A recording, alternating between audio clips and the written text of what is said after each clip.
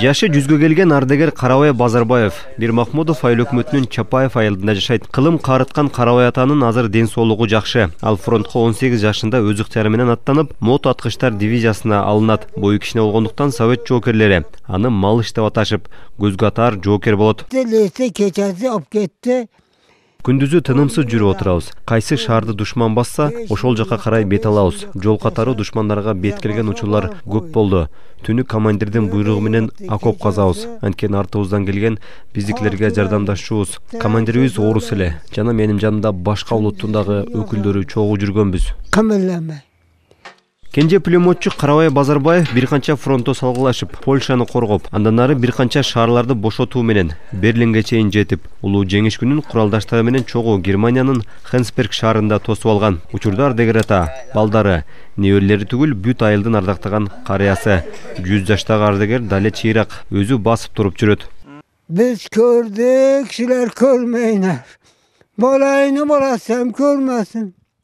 Хенсбергте жеңиш советтик армиянын колунда экенин укканда жүрөгүмдүн толкундаганын бүгүн эстесем да болк эте түшөм биз жеңиш үчүн кандай күндү баштан кечирбедик канча эр азаматтар мекен үчүн курман болду бейкүнөө карапайым элдин наристелердин каны төгүлдү аны сөз менен айтып жеткирүү мен үчүн азыр оор мен ошондогудай кийин ыйлабадым анткени бейпил жашоодо ыйдын кереги жок экен азыр заман жакшы токчулук аны барктап гана жашашыбыз керек.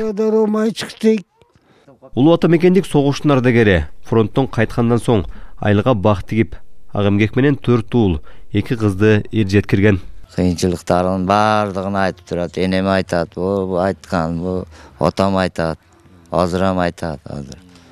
Озурам жакшы озурам айтып турат э балдар ушундай кыйынчылык болбосун биз көп күнөөгөргө тарык жегенбиз деп сүйлөп берет айтып турат азыр сүйлөп турат азыр тогунчулук балдар жакшы карабай базарбаев улуу жеңиш күнүн жыл сайын район борборунда куралдаштары менен тосчу. Эми барган сайын алардын катары суюлуп быйыл ноокат районунда эки гана улуу ата мекендик согуштун ардегери калган енді біз көрдік силер көрмейіңдер эч качан мунака болмасын.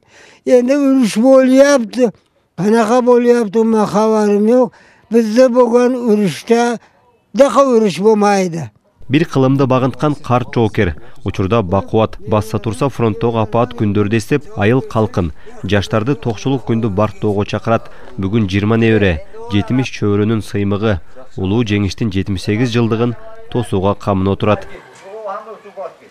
мырзажигит маматкерим уулу эдил алиев лтр ош облусу